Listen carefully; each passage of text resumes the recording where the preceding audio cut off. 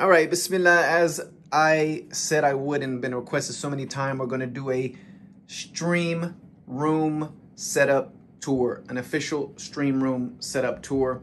This is where it all goes down. This is where everything happens that you see on MGO, that you see in my live streams, you see in my video clips. This is also where we do the coaching sessions. This is also where all my editing editing takes place. So here you go. It's not a very big room, as you can see. This is the, this is the, the the the full room. It's not a very big room at all. Got my calendar on there to keep me organized. This corner is where all the editing take place takes place with the M1 Mac. This is a beast for editing. Alhamdulillah, with the M1 processor. This thing eats through video, 1080, 4K, whatever you want. That along with being all my editing being hooked up to an M.2 drive through USB-C breezes right through my editing as you see in editing a video as we speak. In the Pacific Blue, I had an older iMac that we used to edit on they had the Fusion drive and the HDD part of the Fusion drive started to die. So alhamdulillah, before it died, we were able to get a very good trade-in value and trade up to this M1 iMac. Anyone who likes Macs and you do editing or any type of post-processing, this thing is a beast. So these are all the hats that you see on stream. They're all stacked up over here. In this corner, this is where everything, this is where all of the streams happen. This is the back camera that you see on stream. This is also my uh, podcast camera. This is a Sony a6400 with a small rig setup on it, cage, and a Sigma 16 millimeter lens. Sigma 16 millimeter lens, very good for the podcast that I do. Uh, we got Darth Vader looking out over here. That's it. We see you, Darth Vader. These are the Jordans that everybody sees on the back of the stream. This is a very nice Oud I got from Abdul Samad al-Quraishi back in the day. Now, this is my vantage point. This is my view. When I sit down in the stream lab, this is what I see, and this is what I need to see to be able to run things efficiently. This is my side monitor, which I monitor Discord. And as you can see, there's an actually a Quran group session happening right now. So lots of things go on over in MGO other than just gaming. And I can also watch the YouTube streams. or keep up with my YouTube or have another open page right here. This is simply just a monitor. I'll link the, in the description, I will link everything that I use. Uh, it'll all the all the stuff that I use will be linked in the description. This is literally just a Dell. I think it's like a, a Dell uh, 24 something. It's a 24, I think a 24 inch monitor, but it's able to be rotated on this stand that it comes with. So, so it'll be rotated to be in the portrait mode because that makes it much more easier for me to be able to do things. This is another Sony a6400. This is the mainstream cam, but it has a Sigma, I mean, I mean, excuse me, a Tamron 17 to 70. It's a little bit, little bit dusty. Tamron 70 to 70 lens. Um, two Elgato Keylight Airs is what makes things look good on the stream. I picked these up off Etsy somewhere. I can't remember. If anybody's interested, let me know in the comments and I'll link these in the description. I'll find them off my Etsy, Etsy uh, profile. Mashallah, they were done very well. this is my main gaming monitor. Uh, this is the um, Samsung G7, Samsung G7 32 inch, uh, 1440p resolution. And uh, most gamers I know like to use 27 inch screens, but me being a little bit older than your average gamer, I need more real estate to be able to see what I'm doing. And I actually love this screen. It is on a floating, as you can see, it's on a on a, on a uh, on a monitor stand, so it floats. So there's nothing up under it but I'm also able to, as you can see, I'm able to move it. So when I want the screen to be a bit closer, I can move it like this and then I can just push it back against the wall and get it out of my way. So that is the main gaming monitor. Keyboard I use, the peripheral I use is the Razer Huntsman Elite. I like the Elite because I like having all these extra buttons to be able to do things and up and down volume and play and pause and all that. I also have a gaming Razer Huntsman Mini that I use as a gaming keyboard when I use keyboard and mouse, which is not very often because I am, yes, I am a controller player. I am a controller player. This is the Scuf Impact. I use the Scuf Impact with the um, digital triggers. So I use the Scuf Impact with the digital triggers, instant taps, and the bottom paddles. And the bottom paddles that can be, so I don't have to take my hands off of the Sticks, I am a gamer. I am a controller gamer. R mouse is a Razer uh, Basilisk V2 wired, and just a Razer. This is also a Razer mouse pad. It's a hard mouse pad. I like this. It's very flow. It flows very easily. Now, I also use the Stream Deck XL. There's the Stream Deck XL that is attached to the Stream PC, which we'll get to in a moment. And that is the Stream Deck, normal Stream Deck that is attached to my gaming PC. As you see, I can uh, mute and unmute Discord. Some of these buttons are not showing very well. Uh, I can mute and unmute myself in Discord and other things. now for audio. For audio, I use for the stream room. For the podcast, I use a Shure SM7B. But for the streams, I use this beautiful, it's upside down, I know, this beautiful Aston Spirit mic.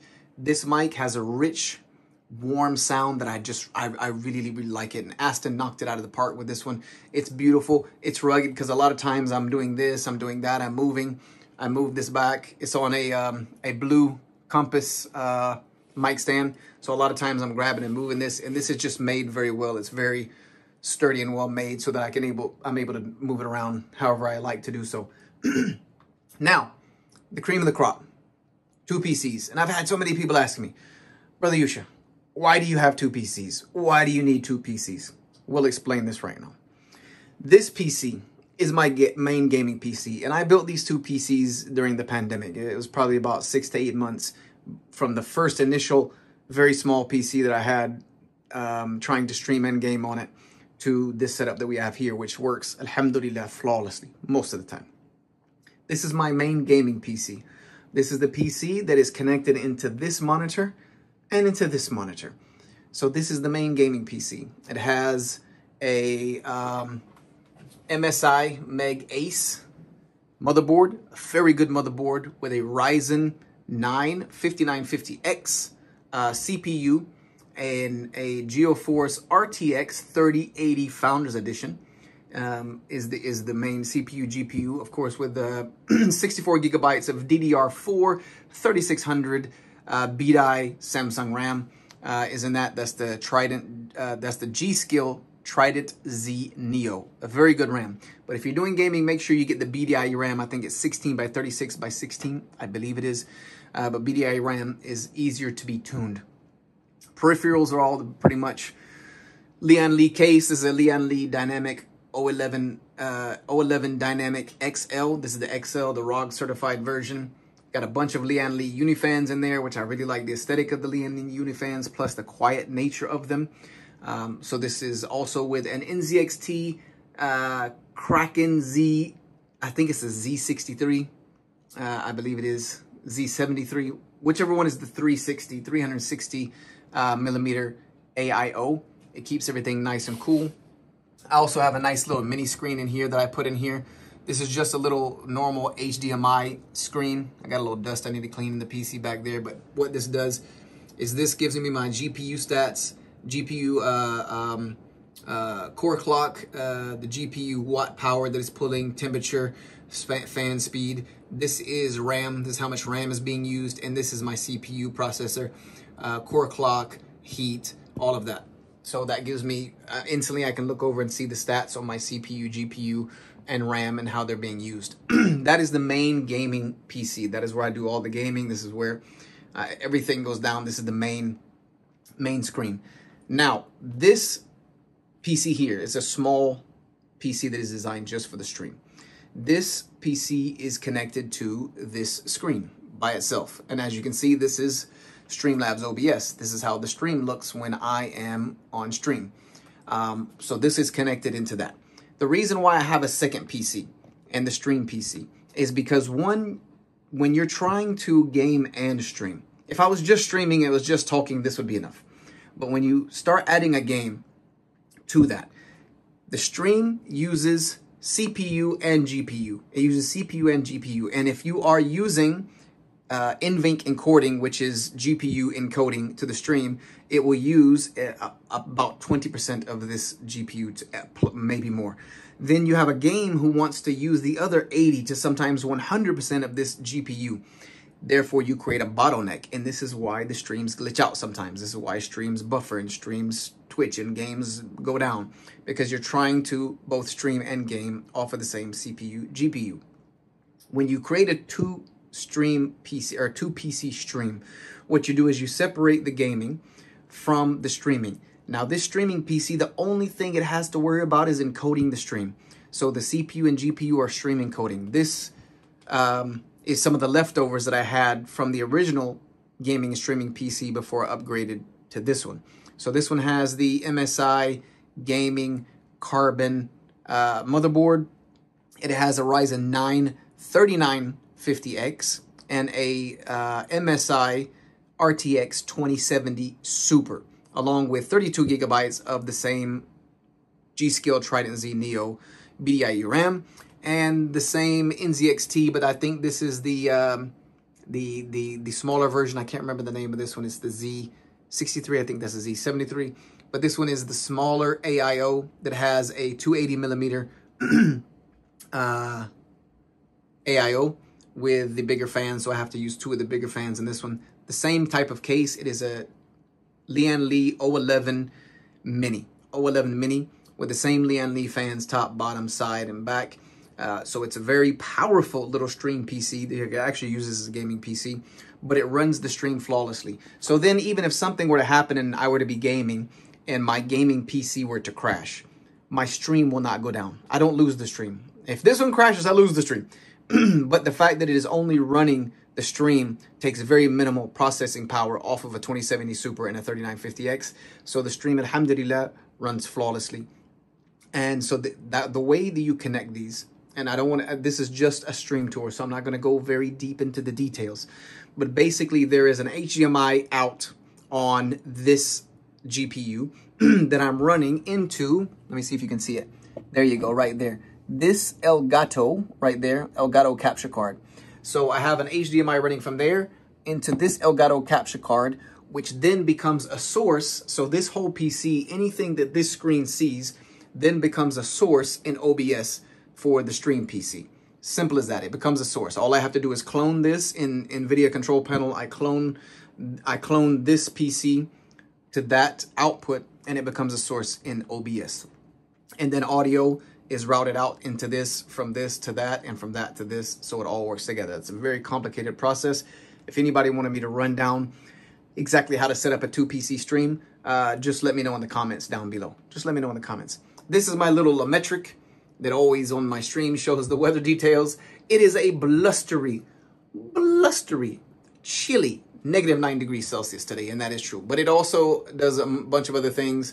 It has a time, countdown timer, uh, YouTube subscriber count, which is at 22.5K. You guys can help me push that all the way to 100. Drop a sub. If you're not a sub, drop a sub right now.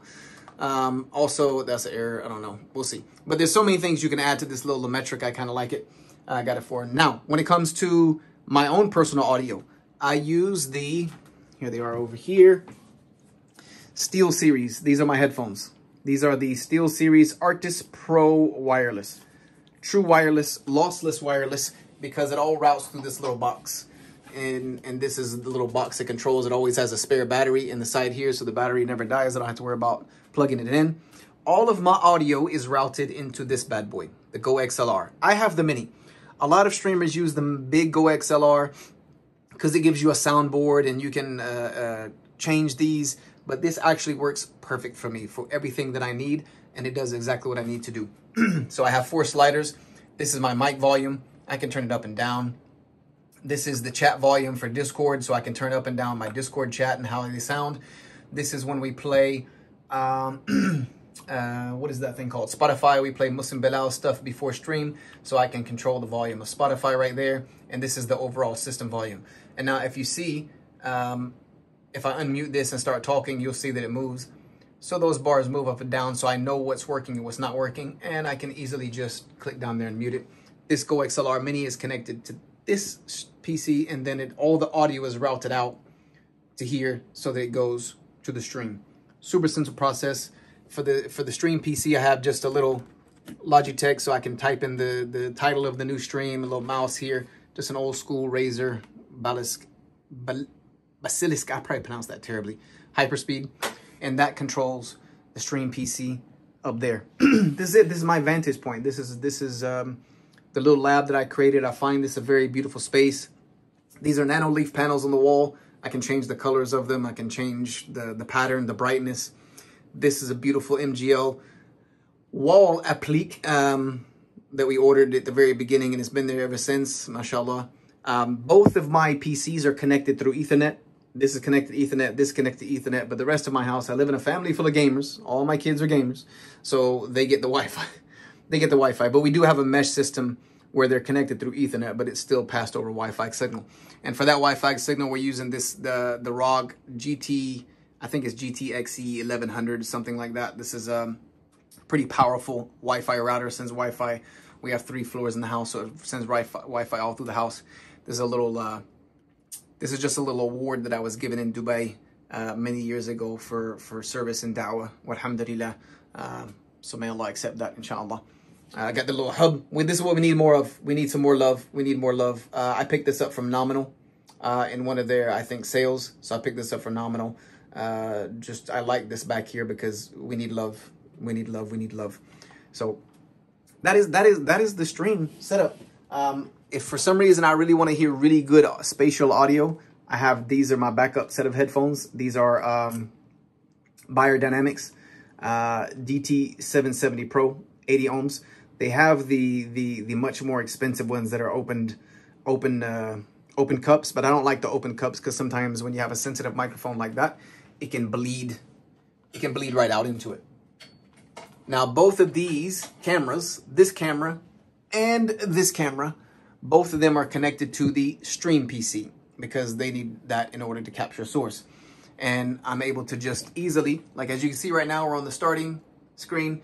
If I want to switch over to, let's say, just camera two, boom, push a button, and there you see this is that camera that you were looking at back there. And then, boom, I switch it, and it automatically goes back to starting. So that's how we change scenes. Everything is right here built in. I can send messages in my YouTube chat just to put them up there, links, whatnot. So this is this is my stream setup. I'm gonna try to put the links for everything I have and what I use in um, in the description any questions about the stream setup, any questions that you might have, just let a brother know. I love this mic. Anybody that's interested in getting a mic that wants very warm sound, now the Shure SM7B is always going to be a winner. But this mic right here, there's just something very beautiful and warm sounding about this Aston Spirit mic that I like. Uh, I like the rigid, I like the construction. I like the way that it's made. Uh, these are all made in the United Kingdom. And then as you see, it's a very small room. So I can just whip over here and um, Boom, right there's my editing lab. This is a little fan for the for the summer when it gets a little bit warmer, but it's not a it's it's not a large space, but this is my space. This is my creative space. This is a space where I get to be in my creative mode. This is where all the streams go down. This is where I create YouTube content. This is where we do the counseling sessions. This is where everything gets edited right over there. Um, so that's it. That, that that's the stream setup. That is the whole. That is the whole thing to it. Now, as I said as a bonus, for those of you who don't know, I mentioned many, many times, but if this is your first time, that a few years ago, before StockX came on the scene and kind of blew up the resale market, I used to be into buying and selling sneakers, especially Jordans and Ultra Boosts, etc. And um, that used to be a side business for me, and it was extremely lucrative back in the day when uh, resellers were still a big thing. I had access to a Jordan brand account where I was able to order um, as many as many of new releases as I wanted at at wholesale cost at what retailers buy there for, and I would then resell those at cost at whole at uh, retail cost to um, some suppliers that I knew. Uh, some here in Minneapolis, some in, in, in, other stores and in Vegas and a couple other shops that I had some relations with relationships with. And then they would add a markup on top of that because back then every Jordan sold out. Like it was hard to get anything. I think it's still the same today, but you know, Jordans sell out and you have to go on StockX or eBay and, and buy them. So I was able to make a, a profit off of that and it was a very good business until StockX came along and crashed it. But I said I would give some bonus content and show you guys what I have left over after we got out of the business. Oh, this is also my little fridge. Um, got my little drinks and stuff in here. Um, so this is a little fridge right outside my stream room, my little cat area. This is where my cat eats. It's a mess. But this is my, um, this is it. This is the shoe wall. This, this is the shoe wall. And uh, these are ones that either when I got out of the business, I couldn't sell them because maybe I didn't have the original box for them anymore, or I'd already worn them and they were too worn to be sold, or there was some sentimental value, sentimental value to them. When we decided to set up the Streamlab, I did sell off all of my old Jordans that I had been holding on to for a rainy day. That rainy day stash, I sold those off because that was how I was able to buy the stream setup. Uh, and that's how, you know, business goes. You got to learn to do business if and, and learn to save and learn to have assets and learn to have things that you can liquidate. That's just as you get older, you you you learn that you learn those things. But there are some Jordans in here I'm still very fond of. Some of them I can't even wear anymore. Like these are one of my favorites uh, that came out, but as you can see, they're starting to come apart because they're a bit old. I need to re-glue those if I wanted to wear them. The same thing with these. These are from 2003. These are, and as you can see, the, the soles started separating. Those need to be fixed. This is another one of my favorites I've had for a very long time. This is from 1996. As you can see, it started yellow. It used to be white patent leather, but it yellows over time. So these are some Columbias that I've had since 19, 1996. And they smell like 1996. Uh, a couple more of my favorites here. You got the DB6s. DB6 is one of my all-time top favorite DBs. Um, I think I have them somewhere. I have another 1996 gem here. These are the original. Um, we used to call these the playoffs. These weren't called the breads until later on. And as time's gone on, they've even stopped turning red. They've turned a little, little orangey. But these are directly from 1996, and these are still wearable. I still wear these from time to time. So that's it. This is the this is this is the uh, this is the shoe stash, and uh, we have another pair here. These are one of my favorite 12s, the Taxi 12s. But I need to fix these as well. As you can see, they've started to separate. I need to fix them. That's what happens over time. The glue comes undone, and they start to separate. But um, maybe I'll get these fixed. If not, maybe they'll re-release the taxis. But this is it. This is uh this is my little shoe area. I don't allow myself to have anything that won't fit in here. And once I wear these out and I replace them with something else. But these are just the ones I couldn't sell at the time. And there's a custom one up there that's denim. It's made out of denim. Used to have some custom connection um, with a guy out in California that used to make customs for customers. So that's it. That's the shoe collection. You've seen this tour room. Which one is your favorite out of these? Also have some Ultra Boosts in here. I used to have a lot more Ultra Boosts, um, but I like I like wearing Ultra Boosts. Ultra Boosts are very comfortable. These are the original, not Ultra Boost, but these are uh, uh, um, some of the originals that came out with this drop for for Adidas, and I I really like these as well. I really like that. That's the very original ones. Nobody wanted to, to buy these when they first came out, and all of a sudden Everybody wants them. Everybody wants them. But that's it. That's the whole the whole room, the whole tour, the whole shebang. Tell me what pair is your favorite pair out of here and what do you like most about the stream room? People have asked me so many times to do a stream room setup. Here you go. This is as detailed of a stream room setup I'm gonna give you. Oh, and this stuff smells amazing. I don't know who makes it. Uh, I pick it up at a local place where uh, um, I pick up some cat supplies. This sandalwood, this stuff smells beautiful and it stays right here. Oh, this table, by the way, a lot of people have asked about my table. I built this table. This table is actually a countertop from Home Depot. Uh, there's my glass chair mat. So I use a glass chair mat um, so that my chair can slide. And then, of course, that is the foot pedal for Discord. If you are a streamer, you need this because if two streamers are streaming together and they're both talking on top of each other, it's very disrespectful. So you get this and this becomes your push to talk. You can actually push on that pedal when you want to talk and lift off of it and mute you. So it's very important for streamers to have. But I bought this from Home Depot. This is actually a countertop. This is a birch wood countertop.